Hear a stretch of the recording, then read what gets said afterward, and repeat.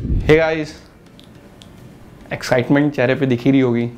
क्या रिज़ल्ट था यार कल रात का? मुझे तो अभी भी लग रहा है कि मैं सपना देख रहा हूँ मतलब ड्रॉ अगेंस्ट कतार अभी जो सो कॉल्ड एशिया की बेस्ट टीम है, उनके घर पे जाके ज़ीरो ज़ीरो ड्रॉ खेलना, पूरे क्वालिफिकेशन का सिनेरियो बदल दिया है इंडिया एंड ओमान के लिए भी। ओमान को भी इंक्लूड करूँगा।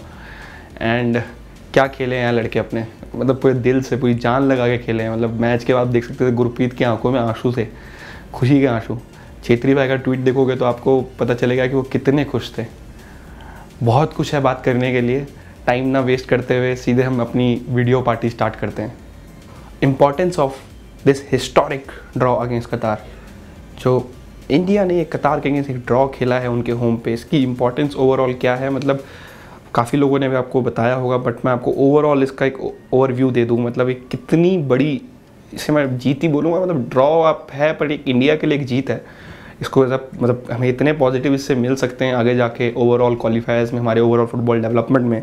आप कतार का रिकॉर्ड देखिए 2019 में, वो एशियन चैम्पियन है एफ़ एशियन कप विनर उनकी फीफा रैंकिंग 62 है इंडिया की फीफा रैंकिंग 103 है।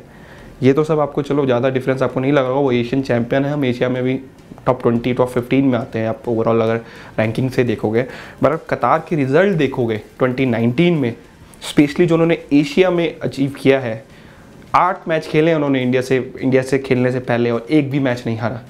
एंड आप बोलेंगे क्या पता वो आठ मैच किसी किसी एक्स वाई जेड टीम के अगेंस्ट होंगे, वो एशिया की बड़ी टीम के अगेंस्ट होंगे। मैं थोड़ा उनके रिजल्ट्स बता देता हूँ 2018 में एशियन टीम्स के अगेंस्ट कतार ने लेबनान को 2-0 हराया था।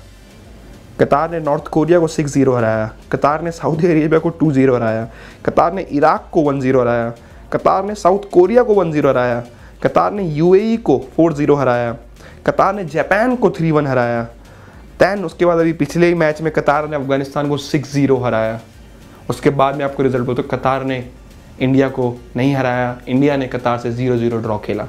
आप देखोगे Japan, South Korea UAE Iraq Saudi Arabia, North Korea Lebanon ये कोई छोटी मोटी टीमें नहीं है। तो जापान, साउथ कोरिया रेगुलर हैं वर्ल्ड कप में।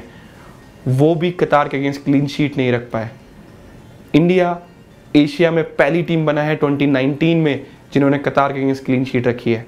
अगर आपको इन नंबर से प्राउड फील नहीं हो रहा तो आपको एक और प्राउड वाला स्टैट बता देता हूँ, जो है 2019 में सिर्फ़ चार टीम ने कतार के अगेंस्ट क्लीन शीट रखी है। आप नाम पे ध्यान देना जो मैं भी बताऊँगा सिर्फ़ चार टीम ने। First Brazil. Second Argentina. Third Colombia. Fourth India. Asia से सिर्फ़ इंडिया ने क्लीन शीट रखी है कतार का अगेंस्ट कतार। कोपा अमेरिका खेलने गया था। आ, साल के एशिया कप के बाद वहाँ भी उन्होंने अच्छा परफॉर्म किया। कतार एक वर्ल्ड कप की प्रिपरेशन कर रहा है और इस वर्ल्ड कप की प्रिपरेशन पिछले वो पाँच छः सात आठ सालों से कर रहा है। ऐसा नहीं कि उन्होंने प्रिपरेशन अभी स्टार्ट करी है। तो आप एंड देन ओवरऑल आप इसमें देखेंगे हमारे क्वालिफायर्स में इंडिया ओमान के अगेंस्ट पहला मैच हारा था। उसके बाद क्योंकि कतार के अगेंस्ट तो सब लोग यही उम्मीद कर रहे थे कि हम दोनों मैच हारेंगे, हमें ओमान के अगेंस्ट रिज़ल्ट चाहिए। हमने रिज़ल्ट निकाला है कतार के अगेंस्ट कतार के घर में। बहुत बड़ी, इसको मैं जीत बोलूँगा या बहुत बड़ी विक्ट्री बोलूँगा। ओवरऑल टीम कोचिंग स्टाफ के लिए प्लेयर्स के लिए, जिस तरह उन्होंने खेला है सबने ग्यारह के, ग्यारह प्लस जो दो सब्सिट्यूट आए हैं, जिस तरह उन्होंने गोल अपने मतलब एक एक चीज़ मैच में। पहले हाफ़ में मुझे, पहले 10-15 मिनट में मुझे लग रहा था कि इंडिया बहुत ज़्यादा ही डिफेंसिव हो रहा है, आगे नहीं जा रहा है। बट उसके बारे में हम डिटेल में बात करेंगे टैक्टिस वाले पार्ट में।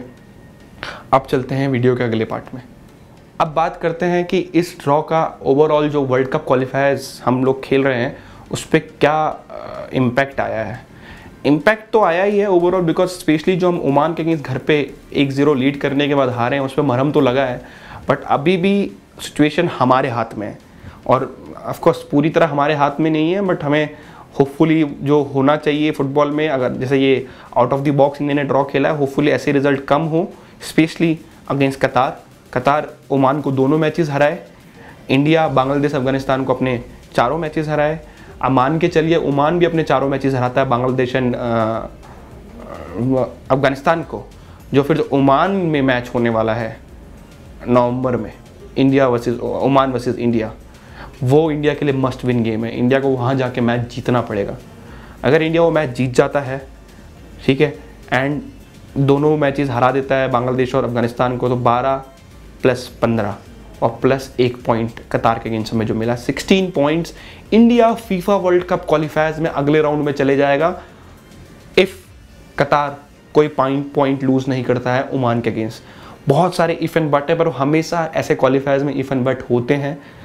दो तीन तरीके और हैं बट को सिंप्लीफाइड करने का यही है कि हम अपने सारे मैचेस जीतें। स्पेशली अफ़गानिस्तान एंड बांग्लादेश के अगेंस्ट हम तो ये बोल ही नहीं रहे कतार के अगेंस्ट हम अपने घर पे कुछ करें वो छो मैच हम उसको ऐसा बाई दे के चलते हैं। बट ओमान को उनके घर पे हराना बहुत ज़रूरी है बहुत इंपॉर्टेंट हो जाएगा नवंबर वाला गेम जो इंडिया ओमान के अगेंस्ट खेल रहा है। एंड होपफुली अगर वो मैच हम मुझे लगता है ओमान ड्रॉ के लिए खेलेगा क्या पता? क्योंकि आ, उनको ड्रॉ ही उनके लिए काफ़ी होगा। इंडिया को किल के लिए जाना है बट मेक श्योर करना है कि हम गलती ना करें जो गलती अपने घर पे करी है। सो ओवरऑल सिनेरियो एक पॉइंट जो हमें मिला है, इसका मतलब ये है कि ओमान को हराते हैं, बांग्लादेश, अफ़गानिस्तान को हराते हैं, और दोनों मैच, चारों मैचेस में। और कतार कोई पॉइंट लूज़ नहीं करता, इंडिया के 16 पॉइंट्स हो जाएँगे जो इंडिया को ले जाएगा अगले राउंड में फीफा वर्ल्ड कप क्वालिफायर्स के, जो आई थिंक अब तक के इंडियन फुटबॉल की मॉडर्न टाइम हम बोलोगे, सबसे बड़ी अचीवमेंट होगी। उसके अलावा इंडिया डायरेक्ट क्वालिफाई कर जाएगा एशिया कप के लिए। तो काफ़ी बड़ा रोल है इस ड्रॉ का। ड्रॉ ड्रॉ लगता तो छोटा वर्ड है, एक पॉइंट है बट एक पॉइंट ने काफ़ी कुछ बदल दिया है इस ग्रुप में। अब बात करते हैं टेक्टिकल साइड की। हम अगले अगले पार्ट में बात करें कैसे टेक्टिकली ये मैच खेला गया दोनों टीम के द्वारा और कैसे इंडिया ने टेक्टिकली ओमान को फर्स्टेट करके एक पॉइंट जीता।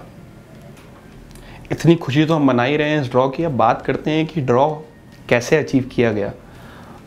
देखने में तो काफ़ी सिंपल लग रहा था कि इंडिया डिफेंड डिफेंड कर रहा था। नहीं बट टेक्टिकली इंडिया ने बहुत सारे ऐसी चीज़ें की थी जो आसानी से मतलब आम आदमी को समझ में ना आए। उसमें से एक बड़ा टेक्टिकल जो स्विच किया था, हमने अपने जो प्रीव्यू में बात किया था, क्या इंडिया बैक फाइव खेल सकता है कतार के फ्रंट फोर के अगेंस्ट ऑन पेपर तो इंडिया ने बैक फाइव नहीं खेला but throughout the match India की बैक फाइव थी। थोड़ा सरप्राइजिंग आपको लग रहा होगा, आपने भी नोटिस किया होगा उस पर आते हैं, एक बार बात करते हैं, दोनों टीम की प्लेइंग इलेवन और ऑन पेपर क्या फॉर्मेशन दोनों टीम ने स्टार्ट किया था। अब आप स्क्रीन पे देख सकते हैं कि इंडिया ने on paper four five one start किया था। जो चेंजेस इंडिया ने करे, और थोड़ा मैं सरप्राइज़ भी था मंदार राव देसाई आए हैं, सुभाषीष बोस की जगह। निखिल पुजारी आए हैं, आशिक की जगह, और सहल आए थे, ब्रेंडन फर्नांडिस की जगह। उसके अलावा मनवीर सिंह आए थे, सुनील छेत्री की जगह। काफ़ी सारे फोर्स चेंजेस थे। सुनने में आया था मैच से पहले कि छेत्री को बुखार है आशिक को निगल है थापा को निगल है। उसके अलावा कोच ने बोला था कि टीम पूरी तरह फिट नहीं है। तो अब इसमें कितने सारे ये टेक्टिकल चेंज थे कितने सारे ये फोर्सफुल चेंज थे आ, उसके बारे में अभी एज ऑफ़ नाउ तो कोई इन्फॉर्मेशन नहीं है। बट जो सबसे बड़ा चेंज से मैं सरप्राइज़ था वो मैं इंक्लूजन था वो पुजारी और मंदार के। सुभाषिश बोस एक अच्छे डिफेंडर हैं तो इस मैच में जब प्लेइंग एलेवन आया काफ़ी सारे लोगों ने मुझे मैसेज किया क्या इंडिया बैक थ्री खेल रहा है? राहुल बेके संदेश आदिल की और मंदार एंड उदानता विंग पे है या मंदार या निखिल पुजारी विंग पे है? एक बारी को मैंने सोचा कि ऐसा हो सकता है बट ऐसा नहीं था स्पेशली ऑन पेपर जब स्टार्ट किए थे। स्टार्ट हम फोर फाइव वन किए थे। उसके अलावा अभी बात करेंगे कैसे ये four five one basically change हुई बैक फाइव में और फाइव फोर वन बन गई। उससे पहले बात करते हैं एक बारी कतार की प्लेइंग एलेवन के बारे में। जो कतार की प्लेइंग एलेवन थी। उस पर भी सरप्राइज़ देखने को मिले। मैच से पहले न्यूज़ आई निकल के कि जो अक्रम है आ, उन्होंने बेसिकली टीम को कुछ इशू हुआ उनके डिसिप्लिन इशू उनको टीम से निकाल दिया गया। उसके वजह से उन कतार ने अपनी फॉर्मेशन चेंज करी वो आए फोर थ्री थ्री में। और एक और जो बड़ा टेक्टिकल चेंज उन्होंने किया यूसुफ और अलहदोस आपको याद होगा हमने वीडियो जब प्रीव्यू में आपको दिखाया था आप देख भी सकते हो ऊपर कार्ड में वो प्रीव्यू का बटन आपको मिल जाएगा। कि एल को हमने राइट पे स्टार्ट किया था, उनके मेन प्ले मेकर है, यूसुफ को लेफ़्ट में। दोनों ने विंग स्विच किया, पर रोल वही रखा। यूसुफ ने अपना विंग पकड़ के रखा बाई लाइन को एंड एल हजोस बार बार अंदर आके शूट लेते रहे। तो इस तरह दोनों टीम ने प्लेइंग इलेवन अपनी स्टार्ट करी। अब बात करते हैं इंडिया इंडिया ने कैसे बेसिकली डिफेंड किया कतार के अगेंस्ट इस बारे के ऊपर कैसे बैक फाइव बनी स्पेशली इसके ऊपर आ जाते हैं। आप देखोगे इंडिया ने स्टार्ट तो क्या बोलते हैं, Mandhana Rahul Bheke as left back right back किए थे पर दोनों बहुत नैरो एंड क्लोज आ गए थे अपने दोनों सेंटर बैक के। आपके स्क्रीन पे आपको दिख सकता है एरोज जो दिख रहे हैं। कैसे क्लोज है निखिल पुजारी थ्रू आउट द गेम जब तक उन्होंने खेला, मंदारा और देसाई थर्ड सेंटर बैक जा रहे थे बार बार जब इंडिया के बॉल नहीं थी, और Nikhil Poojary as a left wing back बोलो एज अ लेफ़्ट बैक बोलो वो आ रहे थे। आप अपने स्क्रीन पे आप देख सकते हैं कि कैसे इंडिया ने स्विच किया बेसिकली आप देखिए निखिल पुजारी उदानता हाईलाइट हो रहे हैं। उदानता इतना डिफेंसिव नहीं गए जितना निखिल पुजारी गए थे।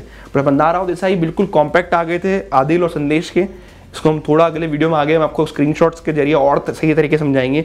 उसके अलावा रॉलविन बोजेस बिल्कुल अपने डिफेंस और मिडफील्ड में कोई गैप नहीं छोड़ा उन्होंने।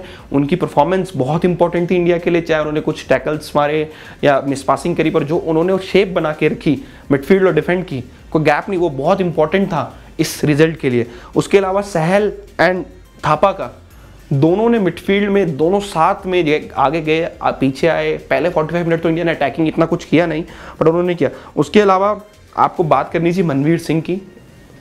एक डिफेंसिव फॉरवर्ड का जो उन्होंने रोल प्ले किया है। जब भी इंडिया के पास बॉल आई, उन्होंने बॉल होल्ड करने की कोशिश करी, अपने विंगर्स को प्ले में लाने की कोशिश करी।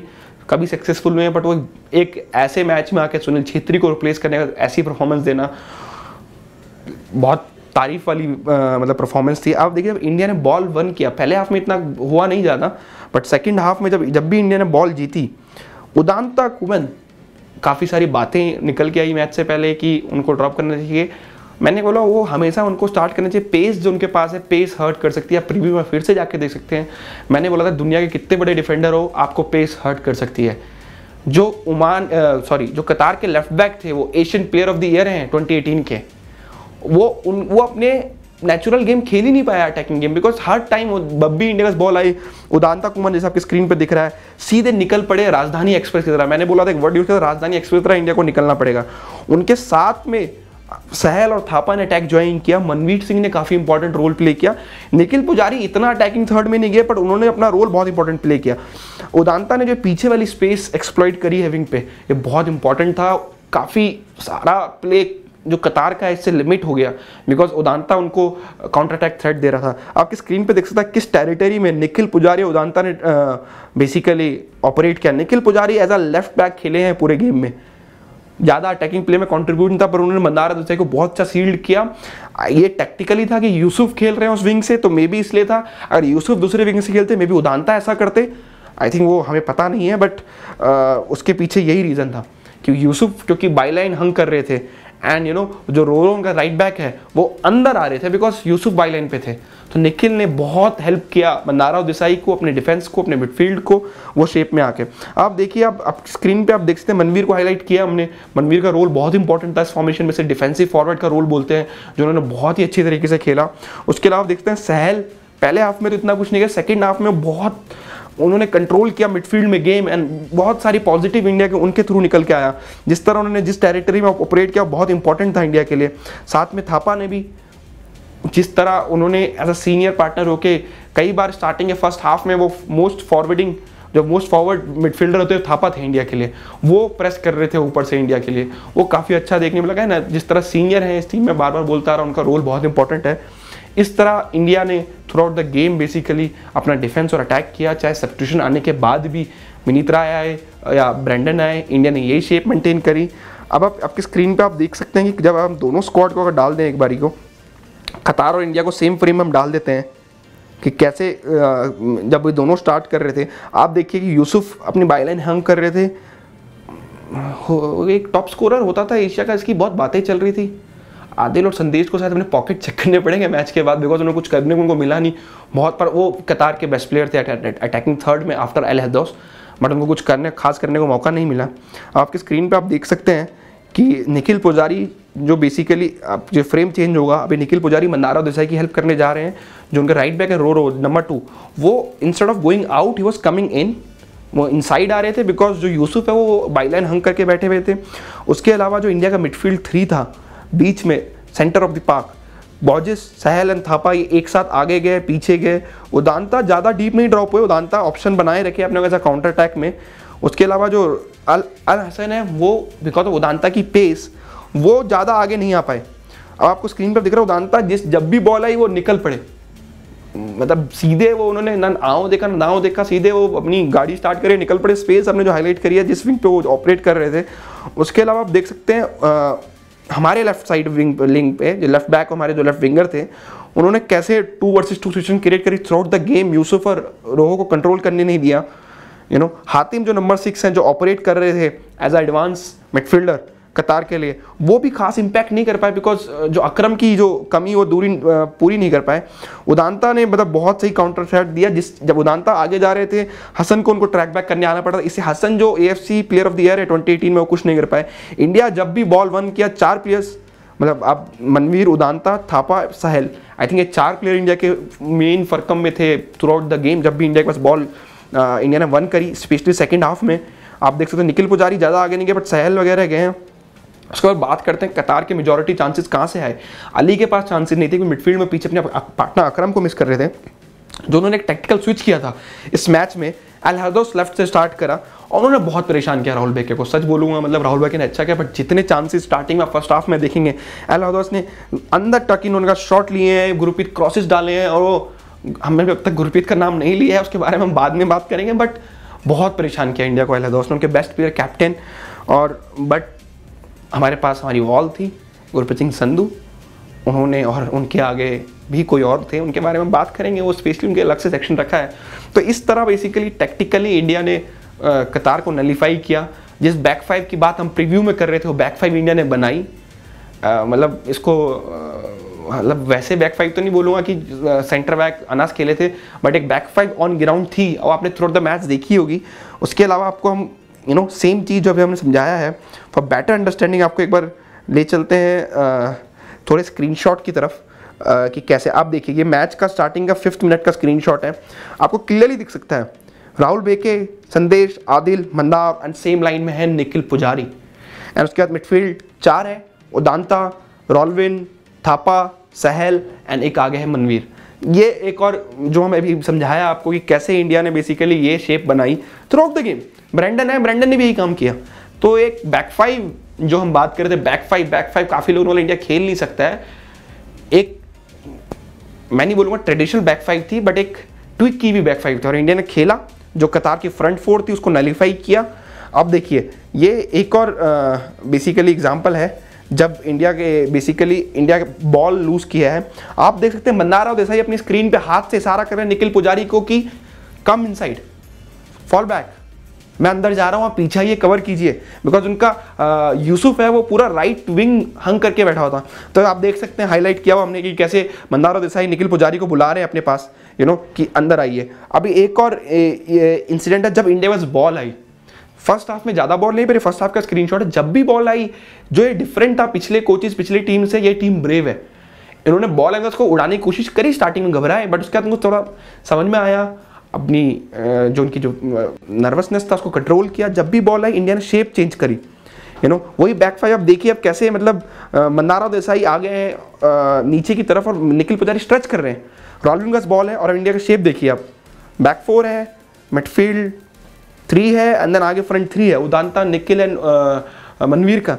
तो ये एक डेयरिंग जो डेयर बोलते हैं कि आप डिफेंस डिफेंस तो किया है इंडिया ने। ऐसा नहीं डिफेंस नहीं किया कोई मना नहीं कर रहा है। वो स्टैट्स आपको बताएँगे कि कैसे इंडिया ने डिफेंस किया है। बट ओवरऑल आप देखोगे कि कैसे इंडिया ने जब बॉल नहीं थी फ़र्स्ट हाफ़ में तो कम बॉल आई बट सेकेंड हाफ़ में इंडिया ने काफ़ी अच्छा अटैकिंग प्ले भी दिखाया। अब आपका एक और स्क्रीनशॉट है, ये 27 मिनट का।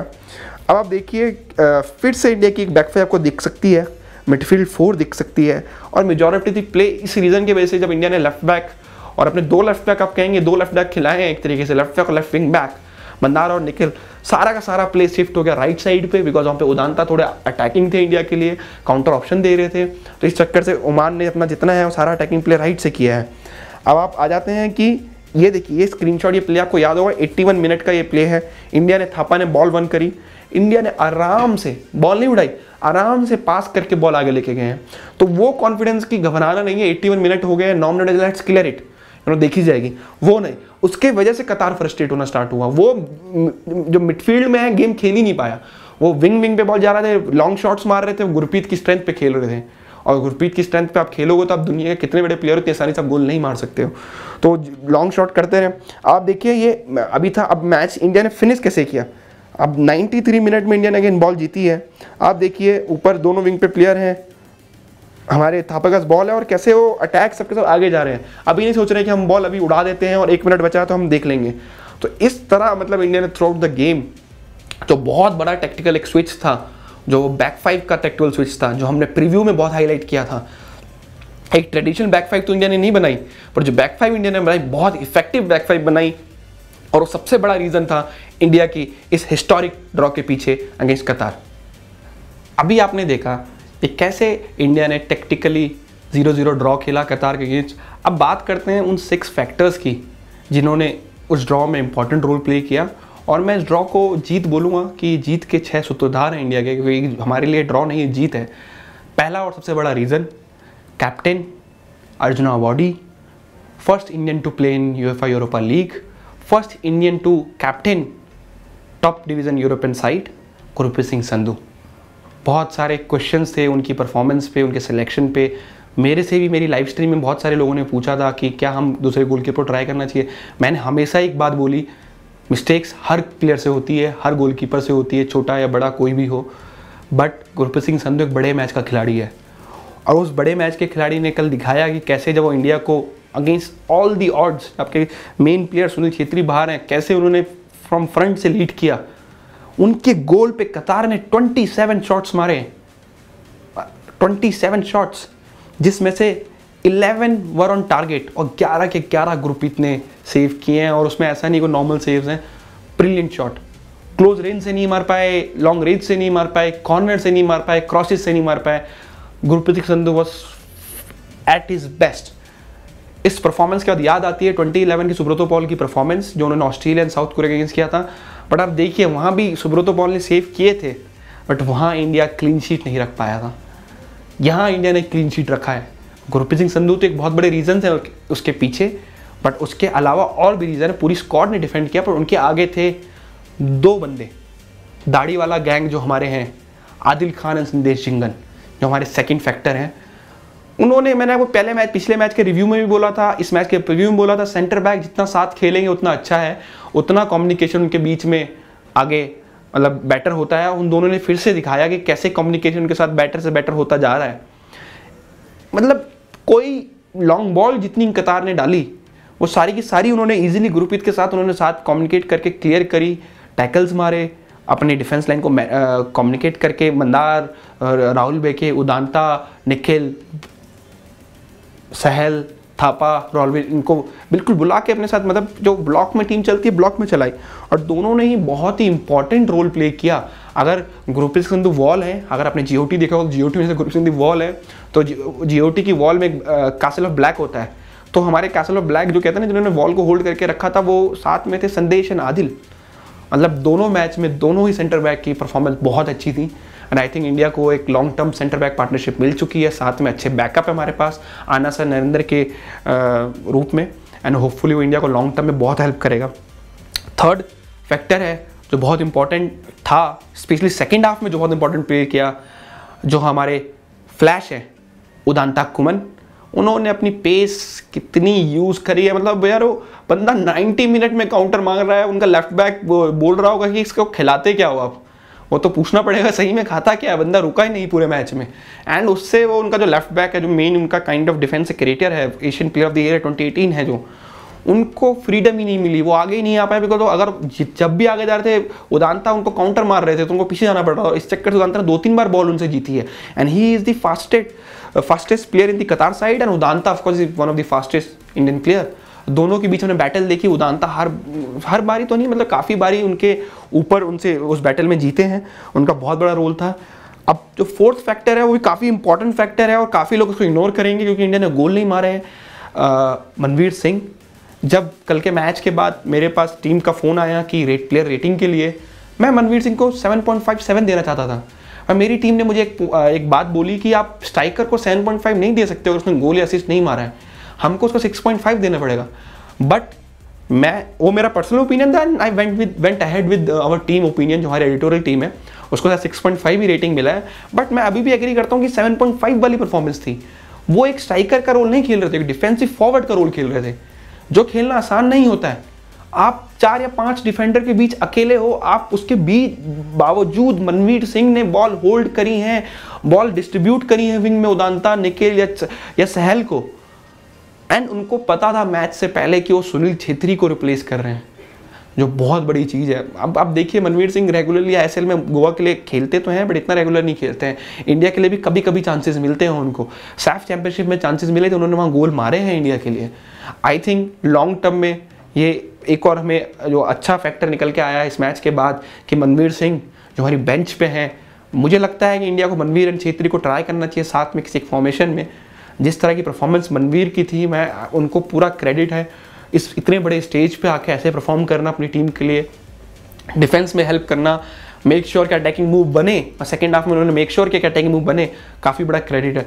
फिफ्थ पॉइंट और बड़ा इंपॉर्टेंट है सहल जो सहल का रोल है, अभी हमने आपको एक स्क्रीनशॉट आपके स्क्रीन पे दिखाते हैं। बेसिकली आप एक स्क्रीनशॉट आपके स्क्रीन पे आएगा। उसमें आप देखिए जो सहल है वो सेंटर डिफेंसिव मिडफील्ड पे अभी हैं। और Rowllin Borges R C M है और थापा एल सी एम है। तो सहल पिछले मैच में मैंने भी बोला, काफ़ी लोगों ने बोला, क्या पता उनकी डिफेंसिव डिसिप्लिन के कारण ब्रेंडन को प्रेफर किया गया हो, पर वो टैक्टिकल स्विच था।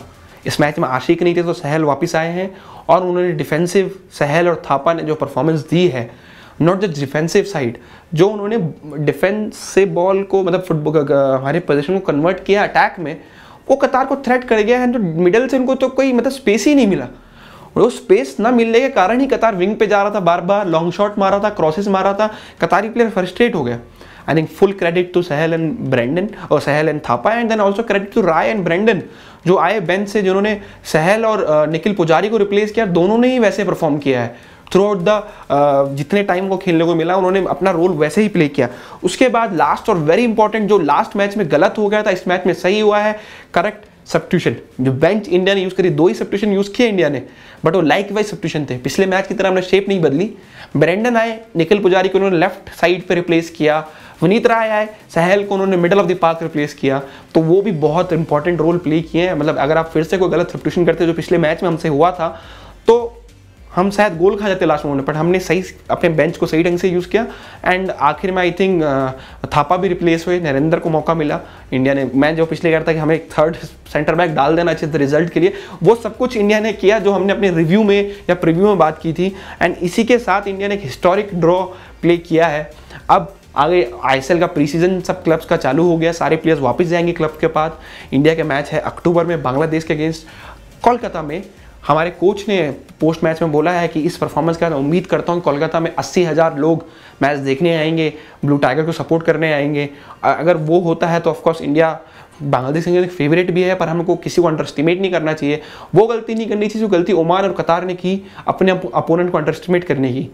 तो होपफुली हम बांग्लादेश के अच्छा खेले प्री सीज़न सब प्लेयर का अच्छा अच्छा हो, अपने क्लब्स के साथ अमरजीत की वापसी हो जे की वापसी हो इंडिया और स्ट्रांग होते हुए आगे क्वालिफाइज में जाए।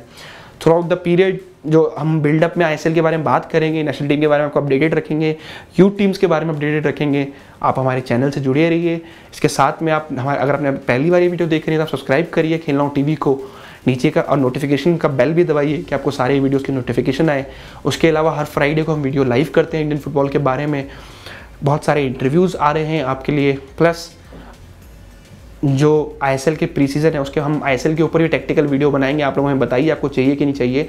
उसके अलावा खेलना हो फुटबॉल फेसबुक पेज को लाइक कीजिए, खेलना हो को ट्विटर में फॉलो कीजिए, खेलना हो को इंस्टाग्राम में फॉलो कीजिए।